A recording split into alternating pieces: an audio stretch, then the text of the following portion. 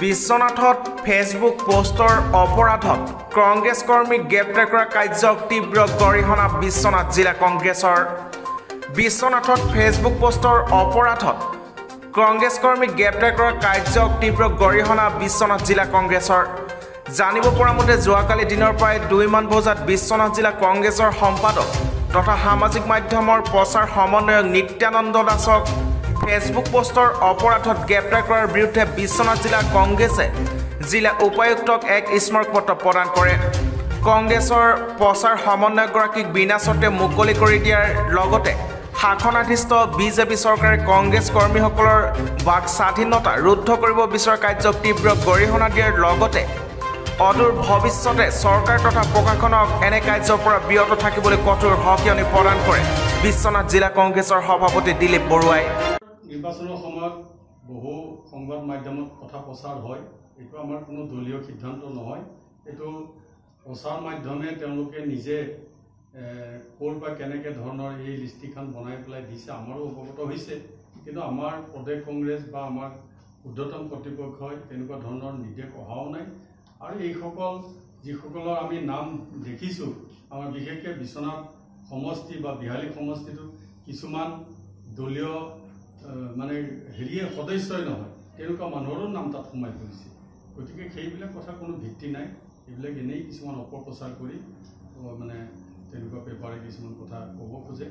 আচলতে এই কথাবিলাকৰ কোনো ভিত্তি নাই। দলৰ ভূমিকা কণ্ঠৰোধ কৰিবৰ কাৰণে অহৰহ চেষ্টা কৰি আছে। বিৰোধী দল যাতে নাইকিয়া হৈ যায় সেইকাৰণে মোদী ডাঙৰীয়াই প্ৰথমতে কংগ্ৰেছ মুক্ত ভাৰত বিচাৰিছে। কংগ্ৰেছ মুক্তটো ভাৰত হোৱা নাই।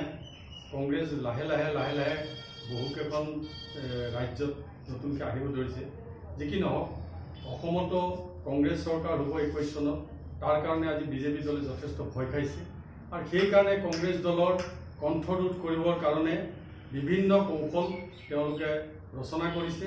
তাৰ লগতে আমি ক'ব পাৰোঁ যে যোৱাকালি পোন্ধৰ ছয় দুহেজাৰ বিছ তাৰিখে প্ৰায় দুটামান বজাত আমাৰ জিলা কংগ্ৰেছৰ সম্পাদক নিত্যানন্দ দাস তেওঁ আমাৰ ছ'চিয়েল মিডিয়া সামাজিক প্ৰচাৰ বিভাগৰ সমন্বয়ক হিচাপেও আছে দায়িত্ব।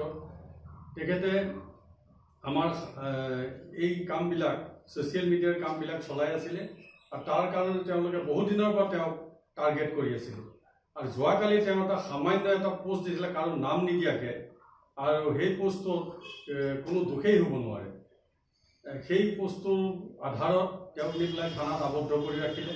আমি বহুত চেষ্টা কৰিলোঁ আজি প্ৰশাসন পুলিচ প্ৰশাসনক ৰিকুৱেষ্ট কৰিলোঁ তেওঁ তেওঁক আনি নিদিলে এৰি নিদিলে ৰাতিটো তাত ৰাখিলে আৰু এতিয়া কোৰ্টলৈ তেওঁক পঠিয়াইছে।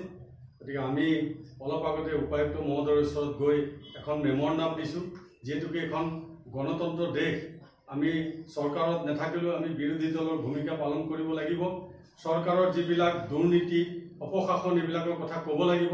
আজি চাওক কৃষক কৃষক সন্মান নিধি প্ৰধানমন্ত্ৰী কৃষক সন্মান নিধিৰ আঁচনিৰ ধন আজি আজি বিজেপি কৰ্মীসকলে আত্মসাত কৰিছে।